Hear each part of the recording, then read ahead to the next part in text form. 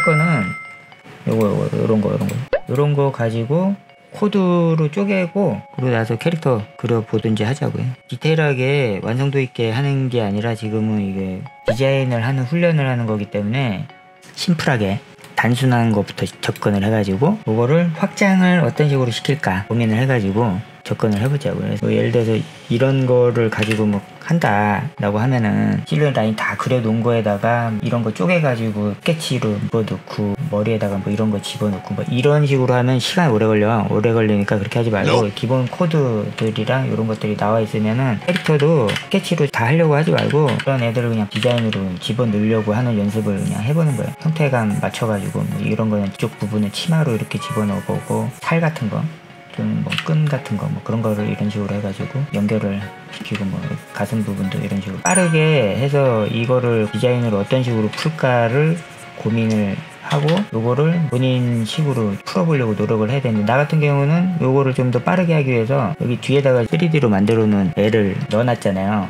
이런 식으로 나처럼 해도 되고 그럼 본인이 이제 알아서 하는 거지. 어쨌든 한 시간에 하나씩 쳐내야 되니까 이렇게 라인 따가지고 새로 하지 말고 바로 그냥 페인팅을 들어가면서 심플하게 이렇게 그냥 넣으세요. 본인이 음영 처리를 해도 되고 음영 처리하기 좀 귀찮으면은 burn tool 가지고 그냥 이런 식으로 좀 처리를 해도 되니까 빨리 해서 디자인을 이거랑 비슷하게 뭐 꾸며내는 훈련을 하는 게 목적이니까 한 시간에 하나씩 끝내보는 걸로 연습을 그렇게 하는 걸로 하고 그거를 가지고 다시 풀어가지고 또 새로 디자인을 해서 완성도 있게 개구리면은 어, 예를 들어서 얼굴 쪽에다가 아니면 어깨 쪽에다가 개구리 모양의 뭔가가 하나만 들어가면 돼. 이게 1이야 1. 전체 비율은 99.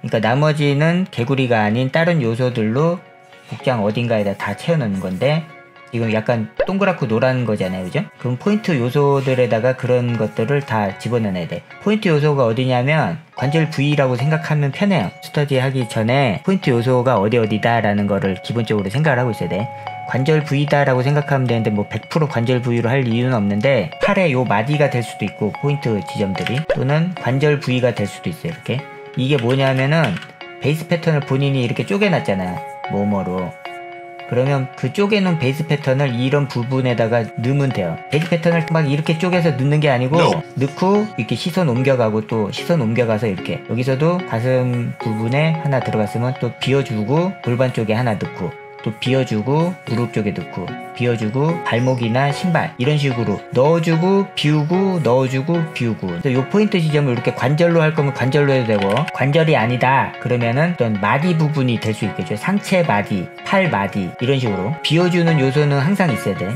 비워주고 이런 식으로. 여기를 다 비워주고 다 대칭이 되면 이쁘지가 않을 거 아니에요 캐릭터가. 그러니까 한쪽은 대칭이 안 되게끔 비대칭으로 이렇게 하든지 아니면 이렇게. 여기 이렇게 하면 대칭이니까 재미가 없잖아요 그러면 한쪽은 여기다 마디에다가 이렇게 하든 이런 식으로 쪼개는 요소들을 이런 데다가 집어넣는 거예요. 개구리는 일단 키 패턴으로 넣는 거예요. 키 패턴은 하나만 넣으라 그랬잖아 내가. 여기 녹색으로 표현한 거. 그리고 나머지는 다 베이스 패턴이 되는 거예요. 그래서 베이스 패턴인 애들은 body 전체에다가 다 집어넣는 건데 쉬어주는 공간이 꼭 있어야 된다.